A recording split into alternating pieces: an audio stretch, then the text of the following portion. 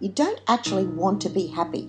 Or more specifically, you have no biological drive to be happy.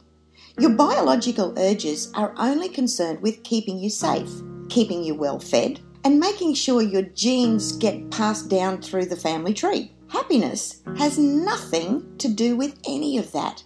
You can be miserable and well fed. You can be miserable and totally ridiculously good looking. Happiness is always going to be a second order concern. I'm telling you this because people think that happiness will naturally come about at some point. They'll get all their ducks in a row and they'll just be happy. But what I'm telling you is that since there is no biological drive to be happy, if you want to be happy, then you need to make it a conscious decision. You simply need to start strategizing about how to be happy and start taking the steps towards a happier life. And it won't happen unless you sit yourself down and force yourself to do it. What are you doing about your happiness right now? Have you made it a priority? Have you developed an action plan? Do you have a list of concrete goals? Because if not, you are leaving your happiness to chance. You can be happy.